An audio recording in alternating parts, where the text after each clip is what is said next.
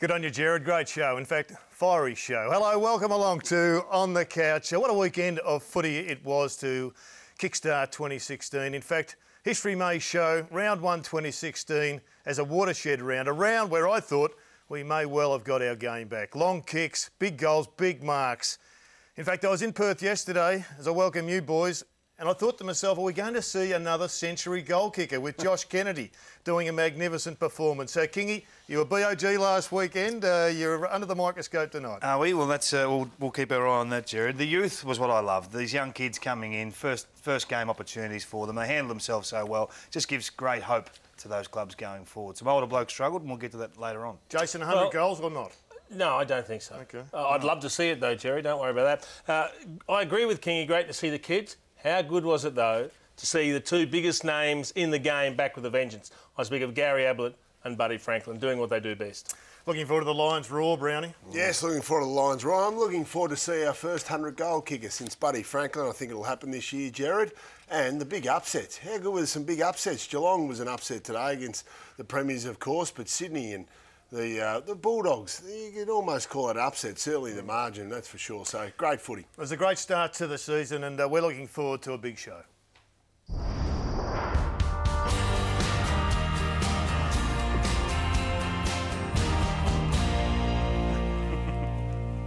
Well, it was an epic battle at the MCG today. Uh, old sparring partners Geelong and Hawthorn went head to head. It was a great uh, result for the Cats. Uh, uh, Luke Hodge was going to be our special guest, but uh, unfortunately, Jason, he's uh, fallen over with a potential broken arm. Yeah, which is something that the Hawks can ill afford given their long injury list. But one of those injured players and a rather big name is going to be his replacement, Jared. Yes, uh, Jarryd Roughead. Uh, the Coleman medalist of 2013, and uh, this is a savage bloking when you consider they've got the Eagles next week, and the injury list is starting to grow. Well, He's an organiser, Jared. He controls the troops, he marshals them, he raises the standards with some of his efforts, and you just can't replace a player like that. That's why they're, they're so good for the, for the team. We talk about structure so often, and, and particularly under Alastair Clarkson, one goes in, one comes out. But when enough of your core senior players, mm. the genuine cream, go down, so you've got you've lost Roughead, you've lost Shields, you've lost Hill, you've now lost Hodge. Mm. It starts to cut deep, Jared. You may have picked up that I was pretty happy with round one. I reckon for the last five years I've been really concerned about the direction of the game. Congestion has been, I think, strangling it, killing it. Not hard. To, it's very difficult to sell a game when the ball doesn't move. Well, here's some congestion that no one's going to be worried about on the weekend. there were full houses everywhere, every part of the globe. There were queues back in the uh, pie stand. There was fantastic scenes in Adelaide, in Perth. Trying to get into the MCG today was uh, the congestion we want.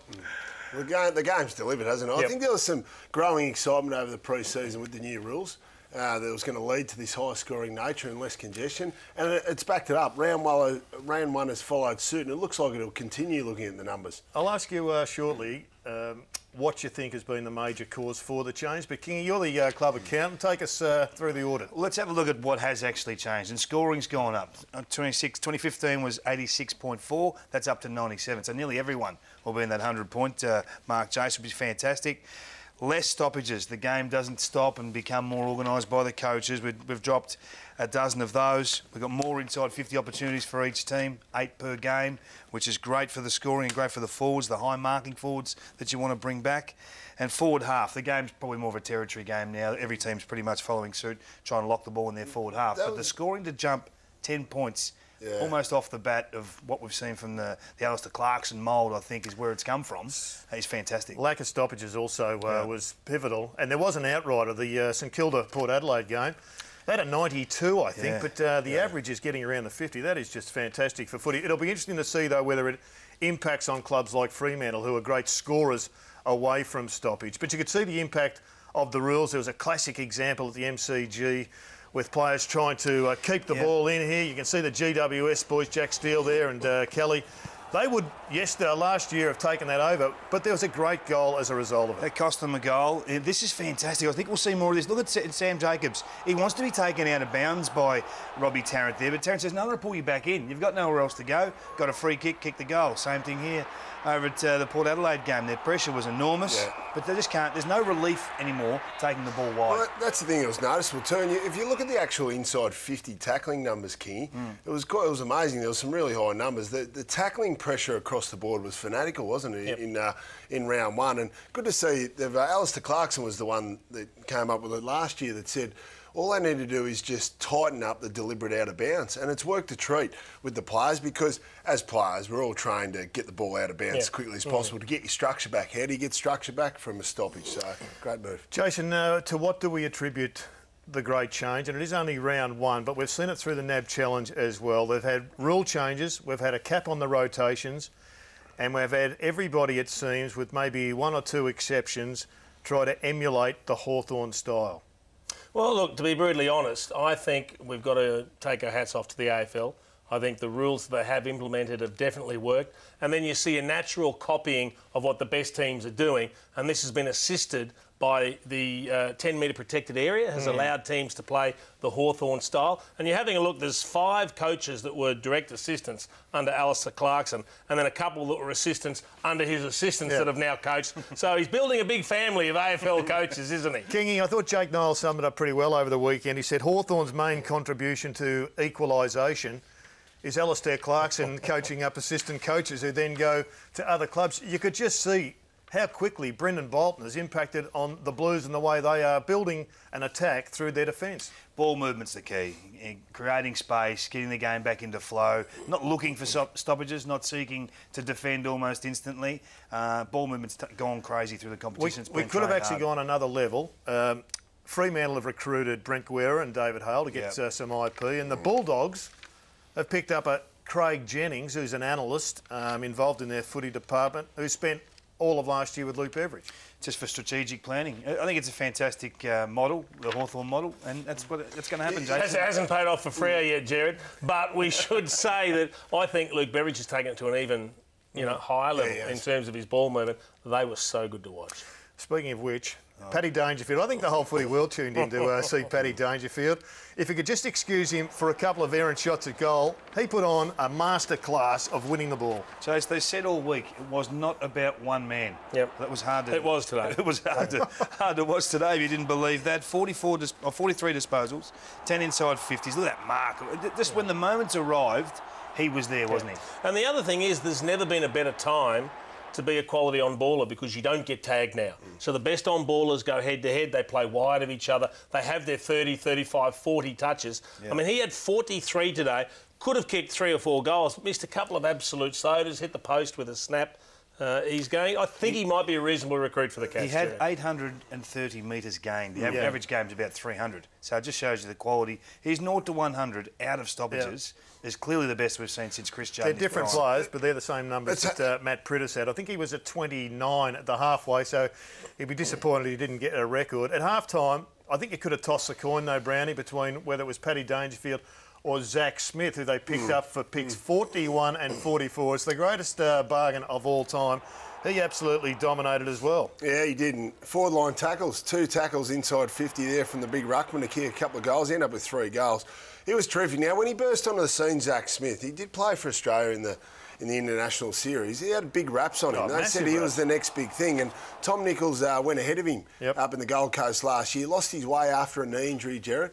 Uh, but he certainly bounced back. He looks like he's rejuvenated down there. He was fantastic. And look, Geelong have fixed their major glaring problem. Look like they've fixed it in the midfield. They've obviously got Dangerfield in. They've sorted out a first ruckman. They're going to get their contested footy back. They've got a tremendous midfield now because you've still got the natural progression of Mitch Duncan, Josh Caddy, Guthrie to a lesser extent. Um, so uh, exciting times ahead for Geelong. Yeah, it sets it up for a great uh, season. Looking forward to seeing whether the Kennett curse is back in action. Love to have a uh, review of the round table, Kingy, and people's predictions on the Bulldogs Oh, because no. didn't they put on a great show? I think we're changing our opinion on them almost instantly. I didn't even have them in the eighth, and you watch them Mm. yesterday. You were at that game, Jason. Their pressure that was game. unbelievable. It's the best I've seen. I mean, they, they smashed Freo uh, when they had the ball, Yeah. and then they smashed Freo when they didn't have the ball. And that was the most impressive thing to actually assault the opposition, take away time and space, and the quality of the tackling, first rate. Where do you see them? Uh, I see them very high now. I had them. Look, I didn't have them in my top four. I'll be brutally Right. honest. But and, and we sit here and we say, don't get carried away with an ad challenge. We shouldn't get carried away with one performance either, because Freo were dreadful. But if that's a sample of what they're trying to achieve, the skill level, the ability to run and carry, the speed, the leg speed, as well as ball speed, and they've got youngsters like Dunkley. Uh, there are a number of others, yeah, that uh, that just came in. Adams. Oh, I loved a couple of them. And, and they just played their role. If your back line has two or three poor ball users now, you can't compete. Yep. I think that, that West Coast. They've gone the other way. They're all good down back. They're all good. They're, they're West Coast Eagles model of last year, aren't they? Undersized ball users. They may lose a couple of one-on-ones here and there defensively, but on the way out, they just slice. Well, they had Johannisen, they had Murphy, they had Biggs, all having 30, 35 plus. Um, from half back and just dominated. We and have a look at the pressure gauge. I mean, 220s, the average is about 180 It's off the in the competition. That's over the top. This is the first quarter when it was seven goals to nothing. We also uh, talk about uh, interstate sides having great home ground advantages, like Perth, uh, the two Perth sides. But I think the Western Bulldogs have got as big a home ground advantage as yeah. anyone in the competition. It suits their game style really well. They do play the first seven games of the year at Etihad Stadium. So they've got a really good chance to start the season off with a bang and get a long way out in front. Yeah, they're looking good. Uh, The pressure goes though. Plus 10 guarantees you a win. They were plus 48. Yeah. And Ross Lyon uh, didn't leave himself out of the equation either in his post match. they were up for a street fight really, and and we we're out for a nice Sunday stroll, and we, we got what we deserved. So um, we always win and lose. So I take responsibility. There must have been something in the preparation that allowed our players to present with a mindset and an inability to work. Yeah, he knows they were very, very poor, Ross Lyon. One of the things I found extremely interesting was the defensive strategy that they employed, and this was late in the first term when they're getting hammered. And we're going to show you a couple of players here setting up. It's Cameron Sutcliffe who's picking up Caleb Daniel at halfback. So this is the back of the square. The Bulldogs are kicking to the top of screen. The ball's bounced. Sutcliffe goes back to be that extra. The ball comes forward out of the stoppage straight to Caleb Daniel. Now, you've got to weigh up that debate about having the extra back deep hmm. To give your, your defence a little bit of support and, and conceding control of the football to the opposition. It's just that mindset. And I, I think we're going to see a few different things tried because if there's going to be heavy scoring and fast movement of the footy, all of a sudden some of the defensive strategies I think are going to get tested. So what you're saying is David Hale and Guerra are under a bit of pressure early in the season. You mentioned uh, Caleb Daniel. We uh, spoke about him uh, glowing last week. Uh, he, along with Weitering, Oliver, Parish, Schache, Dunkley, McLean. It's going to be a tough one to pick. Uh, Brownie, you're giving your rising star for the weekend. Josh Schache for sure. Brisbane Lions. Big no. key Who's he forward. play for? No, no, actually, I was lucky enough to see Darcy Parish. It was pretty impressive uh, for Essendon, but uh, yeah, I love young Oliver from Melbourne. He His just looks tough. and amazing. He's got a bit of the strawberry blonde of Michael Voss haircut about him, and uh, tell you what, if he's half as good as Voss, he'll be all right. Collingwood were terrible, Kingy. How much uh, of an excuse would you give them for uh, what preceded them in the press the earlier day? Well, Buck said none. He was pretty honest about it. They were assaulted in the midfield, Jared, and we, all we've heard about is the Collingwood midfield going to take control of the competition. Centre bounces where the game is at its purest. You're six on six in your forward line, six on six in your back line, and the ability for your midfielders to get the advantage is huge. They won the centre clearances convincingly in the second and third terms, 12 to 4, and they put it on the scoreboard. Kurt Tippett was fantastic with his hit outs to advantage, and they just dominated the scoreboard. They just couldn't compete, uh, the Magpies. It's been a problem for them over the Yep. last 12 to 18 months. It hasn't improved. And it hasn't improved, and until they get this right, they're going nowhere. Look And at have a- that. have a look Six at that. goals, two to Six one two. behind. And they're they're gimme gimme scores Yep. if you like. You reset, everyone gets a chance to, to start again. There's, there's no real system or ball movement patterns involved in this. This is just get it forward and go. And I, I thought the uh, the Swans were brilliant. Josh Kennedy, eight clearances himself out of the centre, was unbelievable. I saw Kieran Jack talking to the boys, and often uh, it's a facade and it's hard to read anything into it. But we had Jarrad McVeigh in here last week.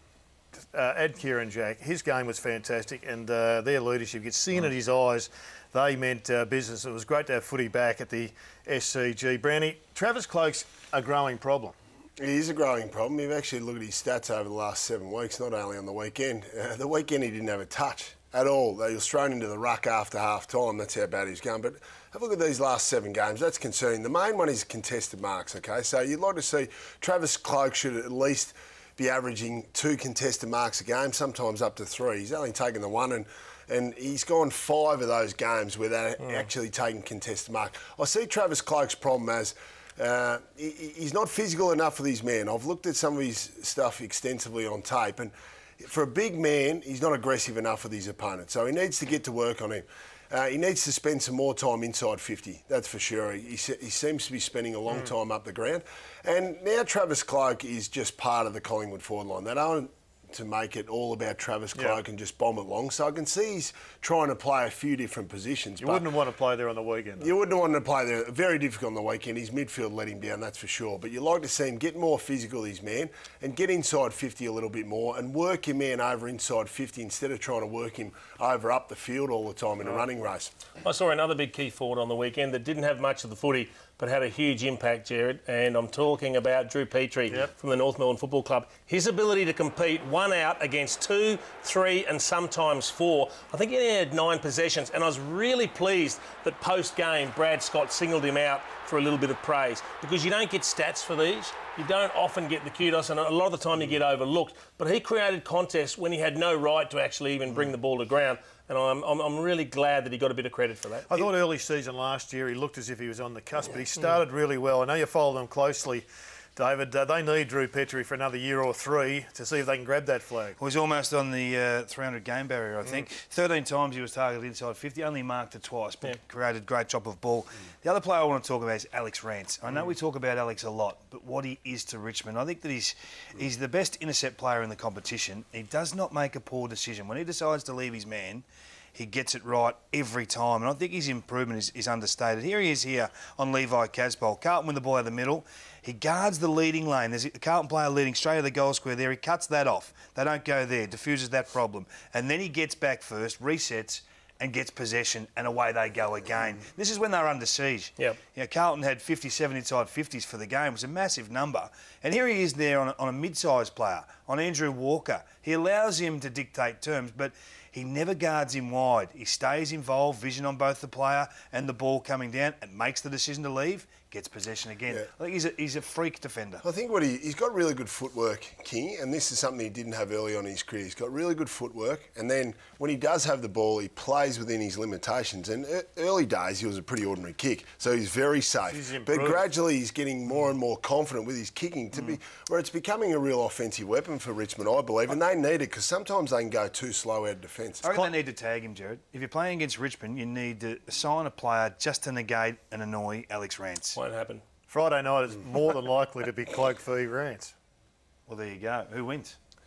At the moment on form, you'd go with Alex Well, I- Rance. I but- think if you had Cloke just trying to take him out of the way, trying to take him out of the play, hard to do, I understand that, or just competing with him so that he doesn't intercept the ball, you'd be a chance. We might get some uh, advice from our next guest for Travis Cloke as to how he should play because Jared Roughead is coming up.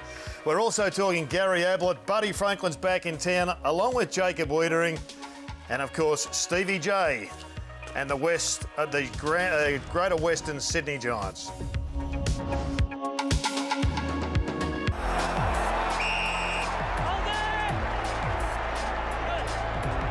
High ball towards full forward. Let it go. Well, he marked it. No sense of occasion, Ruffy. Cyril was just standing back there. Come on, Ruff. Come on, Ruff, indeed, particularly for those of us who had a small interest in Cyril Rioli for the Norm Smith medal. We were to have Luke Hodge uh, in the studio, but uh, he has got a suspected broken arm, and uh, his great mate Jared Roughead has been, uh, on short notice, good enough to join us on the couch to talk about uh, not just what happened today, but uh, life in general as a Hawthorn Premiership star. Welcome to you, Jared. Thank you very much for having me. How'd you see uh, today's uh, events unfold? Oh, look, it wasn't great uh, being in the box and watching uh, from the sidelines. It's only the seventh game I've missed in the last four or five years, so a little bit different, but uh, you can't expect to win a game on a pretty much a quarter of good footy by Hawthorn. So Geelong were, were very, very good today and deserved to win. You've got some injuries. Uh, what's your own circumstances? Yeah, so I'm seven weeks uh, tomorrow post surgery after uh, the procedure with my knee and, and uh, haven't started running or anything yet, but everything's going along as planned and hopefully uh, get going in the next couple of weeks. We believe Hodgie's uh, got a crack, so he's out four to six. Uh, Liam Shields, obviously uh, a big loss for you, ball mover. And uh, I guess there's two or three others like Brad Hill that uh, are unknown. Yeah, that's right. A bit unfortunate at the start of the season to, you know, get a couple of injuries as you said there, but um, gives blokes an opportunity to come in, and, and, I suppose that's what's been a strength of ours the last few years is we've been able to uh, bat pretty deep, and uh, it's going to be tested in the next few weeks. Hey, Ruffy, how has Alastair Clarkson approached your four, four Pete or Forthorn, whatever you want to call it? You know, did he address at the start of pre-season? Has it been an ongoing theme throughout pre-season, or he just hasn't touched it at all? No, nothing's nothing's been said, Brownie. I guess uh, last year nothing was said, and, and this year it's pretty much uh, a new group, and you know we've had a couple of blokes retire and, and move on, and um, with suckers going as well, I guess there's you know an opportunity for three blokes. And with the, the six injuries today, there's there's six spots that opened up going into today's game, so you can't really focus on the four Pete or whatever you guys are talking about in the media, I guess. You would have had a bird's eye view of what looked to be uh, an ineffective forward line for three quarters of the match today, apart from the third quarter, and it was almost cast your mind back to post 2008 grand final when Geelong had that great run. They used to intercept mark everything that came inside the attacking 50 for Hawthorn. That happened again today, particularly in the first half. Must be some concerns there. I think it's just the, the fact that we went inside 50 suiting those type of players. You know, if you bomb it long to Harry Taylor, he's probably going to beat Yep. his opponent nine times out of ten. So if you can create that uh, spot on the ground where you've got the double threat in terms of being able to hit a lead up or being able to go over the back, then it can put some um, indecision into the defender's mind. Whereas at the moment, um, you know, if you're just watching bombing it in as a midfielder, then it makes life a lot easier for a, a key defender. How do you see yourself as a player? I mean, you've been an elite midfielder now in the competition, and an elite forward. You, you play different roles for Alastair Clarkson depending, Clarkson, depending on what's required. How do you see yourself as a player? Um, oh, I think I'm a footballer. I don't think I'm an athlete. So uh, I guess uh, I back myself in to read the game pretty well, and and uh, I guess playing uh, different sports as a kid has been able to help me play the footy that you play today. You didn't play midfield as a junior, did you? No. At all? No, no. I was mainly a, a forward with a, a little bit of defence, but as I said, playing basketball as a kid, it helps you to uh, hand-eye coordination and I guess that, uh, yeah, m- movement in the midfield. You've uh, had a PCL operation. It's not the big one, but uh, it's an unusual operation for footballers. Uh, they don't normally go down that uh, procedure, but you're one of two or three bigger guys that uh, have had it done. Yeah, that's right. I, I think uh, being a bit bigger and having the stress go through the knee uh, makes it a little bit harder to, for it to, I suppose, heal. But uh, yeah, unfortunately, it just it flared up in the in the pre-season, and they've gone the, the traditional, oh, well, not the traditional, but the, the Yep. PCL reconstruction this time. Ruffy, it's been an amazing story at Hawthorn the way he's have been able to handle injuries, handle adversity, and certainly you've had a lot of older players still playing very good footy well into their 30s. I know you're not in your 30s yet, but um, as far as yeah, their fitness program and the way they prepare in the off season, do, yeah, over the pre-season, do the players have a big input along with Andrew Russell into their own program and the way they condition themselves to get ready for the season? Oh, each to their own, I, I reckon, Brownie. I mean, uh, Shaun Burgoyne came across with his knee injury and was only said that you know he's probably got two or three years of footy left in him. So the the connection that him and Jack have had, uh, being able to work out his program is has been different to someone like Sam Mitchell, who was who will like to do every session and and is you know normally first out there and last to get off the track. So. Um, as you're saying, probably different for each individual. As and as you are getting older, you probably need that because sometimes you can freshen a bloke up in pre-season by not giving him as much and only just um, giving him what he needs to do, I guess. Because these guys have been going around for 14, 15 years. They know their body pretty well and know what they need to do to get out there. For those at home that are wondering who Jack is, Ruffy, that's Andrew Russell, the fitness and conditioning guru down at Hawthorn. But it's interesting, I was, uh, I, was, I was keen to ask Hodgie if he had have come in before he got injured, because he was asked recently about his age and he actually bristled up. He started to get a little bit uh, tetchy about it because we have got a few players, the Hawks, in you know into their 30s and moving on. How long can they go on for? Is there enough youth and quality in terms of the class of young players coming through to take up that slack if and when they do go? Oh, for sure. I, I- said it at the start. Our, our, our depth's been our strength the last few years. It's, you know, ideally you'd love that for everyone to get a medal that's played that year instead of just the 22 on grand Yeah. final day. But um, you say how long these guys can keep going. I guess you know 30 was um, the age where people just got a line straight through them and thought, you know, these that they're done and whatnot. But we were able to recruit Lakey, I think, at 30. So he came in and, and did his job for three years, and, and these guys are still continuing to improve. You look at Mitch. Um, he's still getting better and better, and it, you know, someone said he's 34 this year, and you wouldn't. the way that he acts around the footy club too, you wouldn't definitely think that he is 34 years old. You're a senior player uh, in the competition now, and I'd like your thoughts on the big issue of the week, and that's the illicit drugs policy. I was a major supporter of the illicit drugs policy when, it's first, when it first came out, but uh, I think it's probably had its day. I think we almost need to go back to a contract-based policy where you can do whatever you like in your off-season, but one of the requirements, and you sign a contract to say you will do this, is that you turn up and you don't have illicit drugs in your system. Can I ask you as an 18-year-old, if you were drafted and they said, here's a contract for $400,000 a year for three years, all you've got to do is turn up and do your best, but don't drink and drive and don't take illegal drugs. Would you sign it? Oh, it's easy to, to, to say as an 18 year old kid, you know, to put that in front of them, you, you, you would de- definitely say yes. But I think what we have to understand is it is a new policy. We're, we're getting used to it. And you got to remember, we are the only code that release our stats and what hmm. goes on with this. So no one else, no other league in the country, no other code is, is releasing what goes on. So you got to remember, if we're the only one doing that, then of course we're the only ones who are going to get scrutinised and Yep. everything's going to be written about us if that's the case. So we've still got to remember that. I think it's really important that the players do drive this issue. Do you believe that the players are taking enough responsibility for it? Oh, I, I think so. Yes. I mean, as I said, the, the old code probably needed to be changed, and it has. And uh, I say it again: we've got to remember that this is the first year that we've had it in. So. Um, it's still things probably need to be ironed out, but we've got to remember it is new. What do you think of uh, Nick Maxwell's comments? Uh, for those, if you haven't heard them, this is what he had to say on SEN Radio. Probably going back about a month when I started to hear rumblings myself, I started doing some digging and I spoke to a lot of players from different clubs. Now players are just they're basically having a laugh in the off season because um, they've got their six or eight weeks and they know that they can go and do what they want to do, and the only the only result of that is that when they get back and their hair tested, they've got to sit down with the doctor and have a one-on-one conversation. There's a lot of players that I've spoken to who have said that it's just not working. Now, he's a premiership captain of not that long ago and still working uh, with the GWS.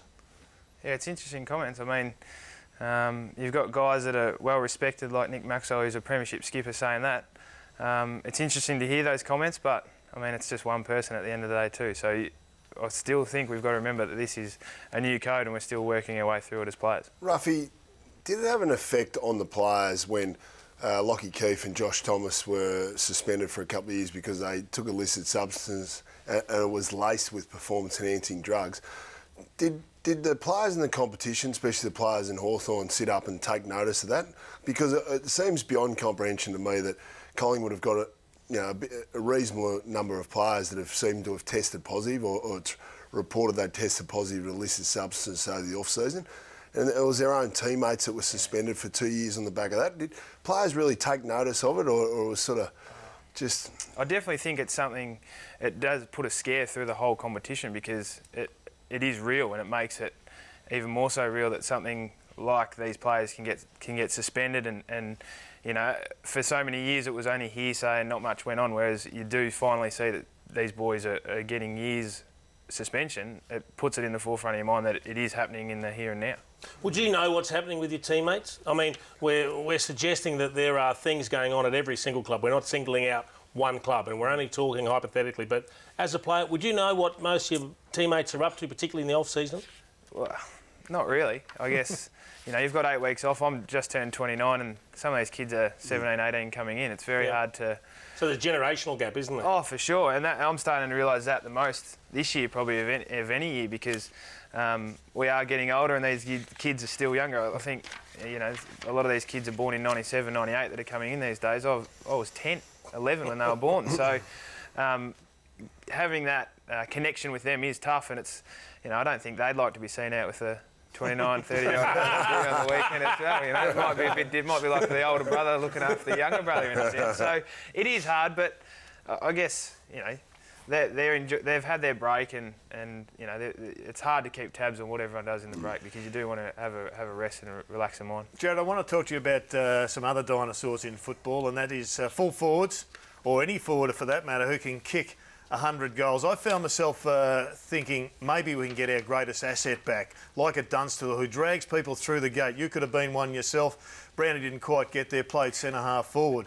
But to see Josh Kennedy kick 100 goals, I thought to myself, maybe the dodo is going to come back. Don't take that uh, personally, uh, Jason. Uh, I asked Brandon to do some stats uh, on this uh, from the last time somebody kicked uh, 100 goals, which Yep. was uh, Buddy Frank. I see you've Yep. put yourself in there, Brownie, Oh, in 07. Brownie. That's very good. That's He had to go back start. far Yeah. enough. have to go back one further. Stop it. Do you think it's possible that uh, we're going to see a, re- a revision to perhaps a Josh Kennedy who can kick nearly 100 goals, even 100? After round one uh, and seeing some of the scores of some of the sides, I guess, I guess there's always that chance.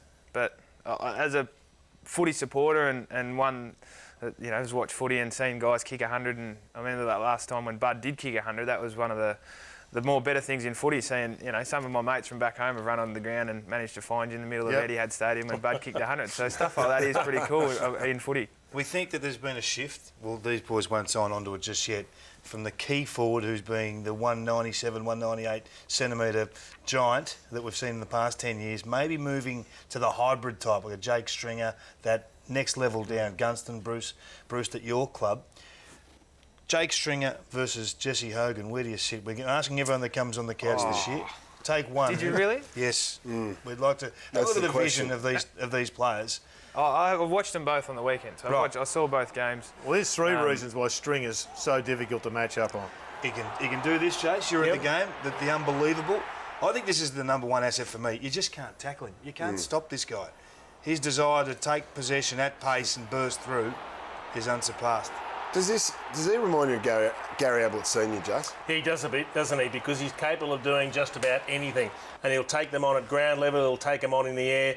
Very good on the lead, and he, he's got a fair roost on him, kicking wise as well. But the other bloke that you mentioned, Jesse Hogan, is more your traditional type that you can build a, a forward structure around. He's not a bad player either, Ruffy. No, and both have got the confidence now that they've played a couple of years and they're starting to really feel like they can dominate games, which both have proved. You know, Jesse Hogan was a bit quiet for three quarters and then kicks three in the last hmm. quarter on the weekend.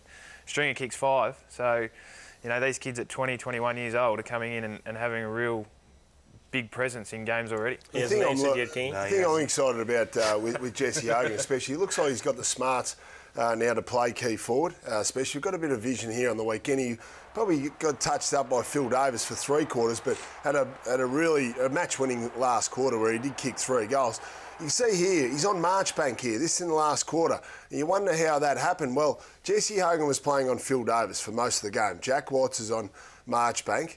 And just see here, they're working together. They're, this is obviously a ploy by the guys. Maybe we can talk a bit through this at the end of it, uh, Ruffy. Um, they're obviously trying to get a mismatch here. They keep working at it. Jack Watts crosses over here, gets Phil Davis. All of a sudden, Marchbank is stuck on Hogan. You see that release. So Hogan separates for the next minute or so in play. They stayed apart from each other and they couldn't get the matchup back on. And then we saw Hogan took that mark about a minute later that we showed. Just that relationship stuff and the smarts of keeping yourself in a game of football and trying to get a mismatch, Ruffy.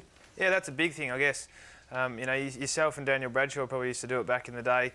I was lucky enough to do it with Bud, and, and now you do it with Gunston and even other blokes. You look at Puopolo, who's probably one of the best to play with because he will just sacrifice and come in and block an opponent so you can get a lick of the ice cream in a sense, I guess. Um, you know, th- and the more you play with each other, the more that that just becomes natural. And you know, Jesse Hogan, this, this is only his you know 23rd, 24th Yeah. game of footy. So the more that he plays with Jack Watts and these guys, the more that that will just become natural to these blokes, and the more mismatches he'll get. I guess. Well, it's been an amazing uh, performance by you, Jarryd. You've had three minutes to answer the question Yes. and you've uh, done nothing. Right. Uh, Stringer four at the moment, Hogan two. Give us a vote because we've got to say goodbye. I'll go with Stringer. You're going with Stringer, that makes it five. Jarryd, we're looking forward to seeing you uh, back in action uh, about midway through the season. Uh, thanks for coming in and filling in for your skipper, Luke Hodge, uh, and good luck for the year. Thanks for having me, boys. Thanks, Ruffy. Cheers. Jarryd Roughead, uh, one of the stars of the competition. Don't go away, we've got plenty more to come. The great man is back for the, the Gold Coast Suns, and didn't he uh, turn it on? And Kingy has a look at the GWS, or is it the Globetrotters?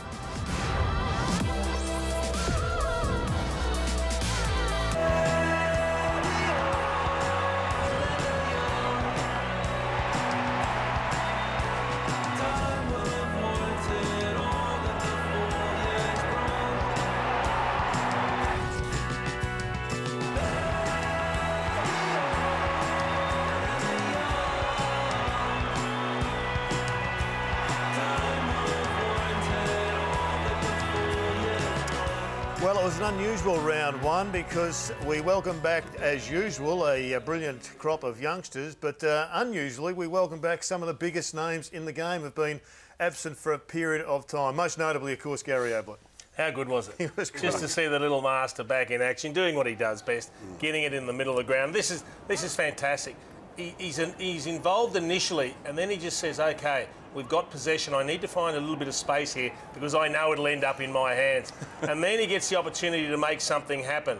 And can he make it happen? Hmm. Again, a little bit of space. I love the acceleration, Oh, yeah. almost off a standing start there. And when in doubt, do it yourself, Gaz. He's a freak. I love it. There was a real buzz around the stadium up there Yeah. the other day. Looking forward to Ablett's return. His returns in round one games have been fantastic. I think there's a bit of a buzz around the Gold Coast Suns. They, they weren't playing anyone on the weekend, of course. We know Essendon's going to battle to win a game this year, but there's a fair bit of excitement around the Suns. If they knock off Freo, even with Sandy back, uh, then they'll really get jumping. Buddy Franklin back, along with the forward pocket plumber, Kingy. Forward pocket plumber, Papley, Tommy Papley. It was fantastic, Jared. I think that uh, they've found one there. But isn't it great for football to see this man thriving again? Yep. Um, he looks happy. He looks as fit as you've ever seen him. And his commanding presence inside that forward 50, it, it just sent jitters into the Collingwood back six. They didn't know what to do. They were rattled. They, were, they all spectated for most of the night at just what this man was doing. Yeah, and if you're going to talk about 100, who's to say he's not the man that'll come back and do it because he has more shots than everyone Well, I think else. I think there's three guys. I think it's Kennedy, Franklin, and probably Jake Stringer that couldn't make hundred. Stringer, He's he's um, He could make he could make hundred. Well. I, hey, I haven't jumped from Hogan. We'll I'm make that six, make. Kingy. That's six. That's- That's oh no no No, he's still no no no no. He's jumped ship. Boomer Harvey, the youngest 40-year-old in the business. Uh, Don't ever underestimate how important his impact was in that win over the Adelaide Crows because in the third term, Boomer said, We need something, so I better come up with three goals. now, he just knows when to run forward. I mean, you can say, Look, they're the easy ones over the top running forward. This is the But one. it's the nous. And, and knowing when to do it, and also knowing when to take the responsibility of kicking the goal rather than centering the ball here. He's a beautiful kick of the footy. He backed himself. 410 games, Jason. He's Yep. still doing it. The Crows led by 19 points, just short of this seven-minute burst that uh, the Kangaroos put on. And it wasn't just Boomer. I know Boomer's on the end of these and he does the finishing. It was Cunnington, it was Goldstein, Waite, Ziebell. They lifted. And for Yep. the first time, it wasn't Wells or Harvey exclusively. I think the Kangaroos turned the corner a little Good bit. on the advertisement for his drink. Yeah, The Spark. Spark, yeah. Certainly uh, had plenty of it at half time. Jacob Weitering, 17 uh, possessions, lots of intercept marks, and uh, a fine pick-up for sure. Well, we've spoken about these young kids, haven't we, and how exciting they all are. And I think Blues fans would be thrilled to know that they've got a 10 year player there that they're going to help build a team around. I think Mark Robinson said that he's the best number one pick from Nick Riewoldt, and you wouldn't argue against that at the moment. Uh, he's been fantastic. A little early after one Might- game. Might be a, might be a little bit early, but uh, we What do just you see here. think? Look at What that. do you think of a bit of arrogance in your first game, Brownie? You know what? I don't mind that. Uh, he's probably going to go a bit further than uh, Sedana, Setanta Ó hAilpín, who did that to me about his first Oh, game. hello, yes. Could, could, Couldn't understand him in their Irish accent, but I don't mind that. Carlton have been walkovers for the last 20 years virtually, and good to see. For, I see Brendon Bolton has come into the joint and said enough's enough, and I don't mind his players following with a bit of. Um, He won't you know, like a bit that. of bravado. He won't like that. I'm, You know not. I'm not sure about that. I'm not sure. Will he not like that? That's twice now, Jared. We asked him to do the graphic about goal kickers going back to the last time a 100 was kicked, which Yep. was Buddy. Yep. He went a year earlier to get right. himself in. Yeah. Now he's told another story to bring himself back into it. Oh, yeah, here we go. I was told by Jerry to bring that in. But uh, no, I'm not sure whether Brendon Bolton would be disappointed in it, Kingy. So that'll be interesting to see. I think they're just trying to um, change the mentality and change the culture around the joint. That now they want to become winners and they're better off starting now instead of talking about this rebuild and giving themselves an out for three years. Let's move on to the Eagles. A lot of people have them as their premiership favourites. They would have learned a lot of lessons from the uh, devastating loss in the grand final. And I think this would have uh, been the basis of one of their most severe lessons, and that's to give the option, include your teammate if he's in a much better position. Here's another one. The handball could have gone from Luke Shuey, who it's fair to say was one of their better players uh, for the day. He had a couple of brain fades, but on the weekend, you could see an amazing transformation in this team. They're pretty good at it normally. They were unbelievably good at it, giving the first hands, giving it to the guy in the best position. Not most of the time, every time. And, and, and even Josh Kennedy gave a couple away. He could have ended up with double figures. Yeah, he could have kicked very 12. easily. He'll change his tune if he gets close to kicking 100 goals at the back end of the year. That's always the way, isn't it? Well, I saw the reverse at the MCG. I think the GWS Giants have got the most selfish forward line in the competition. Clearly, they were uh, borderline arrogant on the weekend. Some of the opportunities they took and burnt their teammates, and it cost them in the end. They kicked 10 goals, 18. Two of those were rushed. They missed hmm. 16 opportunities. There were some set shots in there, hmm. but in general play, and it starts at the top. Stevie J's been taken up there to show these guys how to win, not necessarily to kick 50 goals. Here he is getting possession at the goal face, running the wrong way. He's got four or five options, decides to take the snap, and that was early in the game, and it set the trend for these young players. Here he is again. Here, look, normally he's a great finisher, we know, but a handball there guarantees the goal. I think they've got to get back to the drawing board and say the team kicks the goal, not the individual. I think it's an issue from last year. I don't think they addressed it well enough last year. It's an issue for Leon Cameron and their group. I mean, these are kids that have been doing this, I think, without making solid rules, and it's uh, haunted them and cost them four points. But Jared, for me, this reflects the way they play the game. I mean, there's a lot of talented players there, and I really like a lot of the players, but they don't want to play the hard. They they don't want to do the hard things to get the job done. They want to play pretty footy. They want to play that fast, free flowing, get And on the end of it. they but they don't want to tackle. They're a poor tackling team. They're a poor pressuring team. They've got to do the hard stuff before they can do the pretty stuff and look good. Certainly, the Demons uh, outmuscled them early in the piece, uh, and it was a brilliant victory by them. Before we go to the break, just your thoughts on the illicit drug policy and whether or not you think a contract based uh, policy could replace it. I think you're spot on, Jared. The players have to take ownership of this, and they want to take a stand. It's up to them, really. But I think the NFL model is really, really honest and really solid. Uh, if the players transgress, they, they pay a penalty. It's, it's, the sanctions are there for all to see. We know what they're rubbed out for: substance abuse and, and the like. Um, the alcohol's taken into that as well. I like the NFL policy. I would echo the sentiments of uh, Chris Scott on 360. There are experts out there that know what they're talking about. I don't. All I will say is the players need to own it and the players need to drive it. They're the ones that can fix this. The problem I have with the clubs wanting to know the players, um, that opens up a can of worms because as soon as you know more than the doctors know at a club, uh, rumours start, and, and all Yeah, the, the play- CEOs were talking well, amongst well, themselves. they- they- well, well, how in the hell did the number get out about Collingwood? So someone's obviously talked within that football club that knows the figure. Uh, so too many rumours start, and then all the players get tarred with the same brush. So yeah, we're either going to keep it secretive to just the doctor, or we go fully open and transparent. After one strike, everyone knows, and then the suspensions after start after the second I wouldn't have an illicit policy. I've changed my mind. I'd go straight back to a contract to play league footy. Mm. And there's a number of reasons why. It's But- but- negligent. but there's never been a contract though to not have illicit drugs. Uh, have we ever had that situation? If you want to play football, you sign the contract, which Yeah. means you turn up with no drugs in the system. If you have drugs, there's a four-week penalty. There's an eight-week mm. penalty second time. I mean, at the present time, clubs are putting investing massive money mm. in players who want to gamble whether or not their illicit drug is Well, laced well, with There are, there are jobs out there where you can't do that, Jared. Yep. You can't be pilot, truck drivers, Yeah. these sorts of things. They're out there. It What, why are the players? It so- hard to comprehend because you don't have to. People are not holding a gun to your head saying you have to be an AFL footballer. Go out and be a plumber or a brickies labourer or some other job where you don't have this policy hanging over your head. If you play AFL football, it's not a right; it's a privilege. So you've got to work within the, the confines of uh, what the rules are. Well, there's a number of columnists I read over the weekend saying that uh, it is against their civil liberties, that it's too restrictive. You've got no right. Oh, and I think they have got a right, the clubs, to expect you not to risk million dollar sponsorships because you want to dabble over the, Mate, your mate, office. the, not that the civil libertarian, li- civil, liber- civil li- libertarians will get on their high horse about anything. Like, so I'm not sure about that sort of stuff. Players drive a hell of a lot of this game. They do. Yeah. They put the show on, they Yeah. drive a lot of it. They have to buy into anything that you're doing to make it work. If you don't get a contract, Jason, I'm sure there's somebody else who uh, will sign the Yeah, contract. but you'll never, get, you'll never get that over the line, Jared. You'll never get that through well, they're going to strike. bargaining. They're going to strike because they want to take illicit drugs. Oh, you're just you're just going to demand they all sign this type of contract? That won't work. Jared, Jared, well, the- there's plenty of CEOs out there that think it will work, and that's where it's going to go. Jared, no, the- it won't because you've got 700 players that are saying no. The game won't go ahead, Jared. This you can't is- tell this them is- what type of contract they're going to. This is sign. not an illicit drugs policy. All it is is if you want to play football. So you're trying to circumvent the illicit drugs Absolutely. policy Absolutely. I don't think the, contract I don't place. think the, the illicit drugs policy is The- the point is, if the players don't buy into it and drive it, it won't work, and that won't work. Jared, in fairness, like Chris Scott said, all the Olympic sports don't have this illicit drug code. So the, the AFL players are putting themselves out I understand there. that. I- Is it If it's not changing behaviour, though, and I know we've had some, uh, we've had a small change, Mm. but we've had two players at Collingwood take laced illicit drugs, and it's cost Collingwood five percent of their list, and potentially cost them sponsors down the track.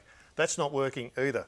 We're going to take a break. I'm sure there'll be more discussion on that down the track, but still to come. Nick Riewoldt, he plays his 300 on the weekend, and Eddie Betts, where is he playing for the rest of the season? Don't forget, the Lions roar.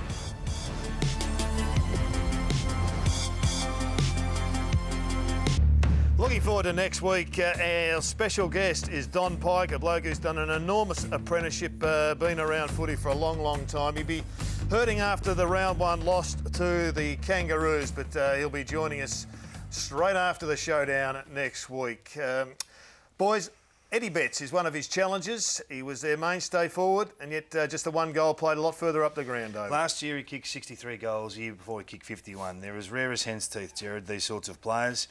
He had four disposals on the weekend of his 15 in the forward 50. Now, for me, he's a stay-at-home forward. He's the threat for the Kangaroos. Has been every year. yeah. He's a difficult matchup. Scotty Thompson has awful trouble uh, trying to clamp him. He's kicked bags of five a couple of times and a bag of four his last seven occasions against the Kangaroos. So Smart he- bloke he's- Don Pyke, though. Is he trying to just get share the workload, share the energy around? They had 57 inside 50s, Adelaide, and they just couldn't get it on the scoreboard. And that's the he's one of the reasons why. Mate, he didn't need it. Get out of the way. Josh Jenkins kicks five. Big Josh. big Tex kicks Yeah, three. but It's all about the big key forwards, mate. 57 inside 50. They needed more, more midgets down there, some small guys sure down that. there to get the job done. I don't think it's politically correct to use that. Adelaide Oval. Little challenged. boast, yes. Sort of great game at Adelaide Oval, Jason. Mm. Well, they surprised me, the St Kilda Yeah. Football Club. And I think the thing that probably makes the AFL the happiest after round one is the fact that we had teams like Melbourne Yep. do well. We had St Kilda do well. We had Carlton almost pull off a win over, uh, Car- uh, Richmond. over Richmond. And then for a, a great part of the game, Brisbane were also a very lot of positives for But Brisbane. I love the way they worked so hard, St Kilda. When they had the ball, when it was in dispute, they got numbers there and they just put pressure at the coalface. And that's what this game's built around. Do you think that their lack of a second practice match hurt them at the end? Oh, I'm not sure, but I loved the attitude of Alan Richardson post game. He said, really disappointed with the last 15 minutes when they mm. faded out. Yeah. I love that attitude. It's not getting close is good enough. Being competitive interstate against the supposed heavyweight for three and a half quarters was a good effort. It's we should have won that. They've got a brand, haven't they? Yep. Their pressure's their brand. Seven of their nine first half goals come from forward half turnovers. They're, they're manic. They're smaller forwards. I'll call them that this time, Jace. Put on heaps of pressure. It was fantastic. For 300 games, Nick Riewoldt has been their brand brownie, and uh, we celebrate a great career on the weekend against the Bulldogs. Well, it's well deserved, isn't he? He's been an absolute legend in the game and uh, one of my favourite players to watch. And let's hope he can have a good game uh, and get through and kick a few goals. That'd be nice to see, Jerry. And he pays tribute uh, to Yeah. his sister as well. It has been uh, recognised as the Maddies match. Uh, second round, second try for Jonathan Brown. And I know the Hawk squawk is coming, but the Lions roar is about to fire. Jeez, I don't, I don't think the Hawks squawk will have as good a sting as that. But uh, now let's have a look at the weekend here. Now, I know there's there's medical staff that pay a lot of attention to our great players. Let's have a look at Buddy Franklin. Fair enough. Know, he's a chance to win the Coleman. Could kick 100 goals. He's got half the Sydney Swans bench all over him there. We've got trainers, we've got doctors, we've got physios. They're all there. And then we look to another man who's very important, equally as important to his team's chances. The tr- Alex Rance, the trainer comes up. Oh, no, not enough. Away he walks. Where is it? Where is all the medical staff? Come on, boys, turn it up. Richmond Medicos. He kept her in the game for three quarters on Thursday night. Pay him a little bit more attention. Only a defender, Brownie. You got to score. There's Yeah, only true, a Lions true. Cub raw, that one. Well, I haven't got a stinger Come on, for my score. Hawk squawk, but I just want to say when opportunity knocks, be ready. You've got to take it. Shaun Hampson playing for Richmond. Mm. Ivan Maric is out. You can see he's playing on Cruiser here. Now, the ball's deep in defence. Carlton have got it. Cruiser leads all the way from half forward, and he doesn't quite make the effort to go and get him. He's always sitting off, sitting off, saying, oh, they won't use him. Well, they do. And it's a poor kick, so he goes, oh, I better go tackle him. Then, oh, he's going to handball it, so I drop off. And then look what happens. You've just got to show desperation when you get that opportunity.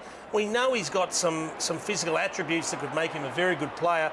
I just thought he'd be really disappointed when he looks back at this and say, well, I had an opportunity to have an impact and I just didn't quite go, perhaps, you know, to that extreme that I would have liked. And if you had got a shot of uh, Damien Hardwick in the box afterwards, oh, it wasn't good. I like this walk. It might have covered the raw uh, tonight. What was that? I've got no stinger. Kingy, question without notice. If you had one chance to change one of your predictions in the top eight, what would it be? Uh, definitely the dogs in on what we saw on the weekend. Jason? yeah, they go straight in the top four. I don't need to change, mate. I think I've got Oh, Mr. Perfect. Oh, no. Absolutely spot on. Don't forget, Don Pyke is going to be joining us as our special guest next week on the couch. It's been a long weekend. Hope you had a great Easter. We'll see you next week after round two. Good night. I don't. I don't.